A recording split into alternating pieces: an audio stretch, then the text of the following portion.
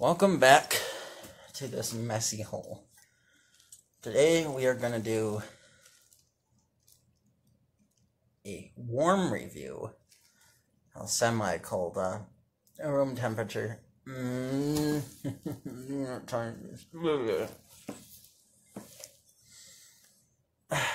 room temperature review of the hair, of the hair, of my hair, my room temperature hair um, of these Jones sugar cane soda. It keeps freezing. I'm sorry about that. Uh, yeah, I'll put a over on the screen here. You can see what it looks like. Uh, yeah. Jones sugar cane soda. Oh. Uh, uh, uh. Oh, there's hair. Oh, there's hair. Oh. Mm-hmm. Throw the cap. I'm already getting a faint taste of it.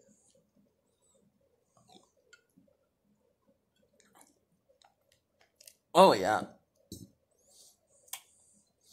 you can definitely tell there's like a little hint of aftertaste with the sugar cane.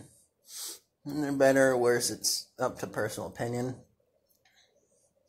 And the other stuff, and you can see the, uh, I guess they're celebrating a 25 year anniversary or something, as the label suggests. Look, uh, a bunch of people partying and having a chill with their cold soda brewskis because they can't drink alcohol. So they'll sip it down to Soda Town, I guess. Nah, I'm good. I'll talk to you in a bit. Ooh. Mm-hmm. Sorry, I had to answer that. Uh. But yeah. Sugar cane Jones soda. I don't know what else to say. It's pretty damn good. Ooh. Ooh. Gassy too. Mm.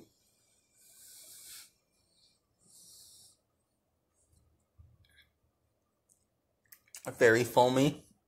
you can definitely taste the foam taste with it. When you get up in your mouth. Mm-hmm. It should be a sampler test, like like wine, just shake it up in your mouth and see. Uh, uh, maybe I'll do that for now on if I can. That gives me a hint on uh, uh, carbonation at least, which is pretty foamy if you really like shake it up. I'm assuming. Oh yeah, you can see the bubbles as you shake it up. They're really overreacting. You hear it?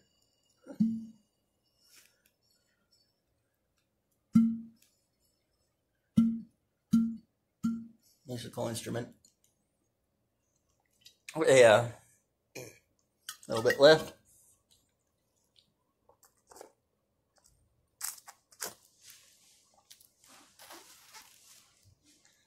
I'm sorry for the glare, but damn, that's some good shit.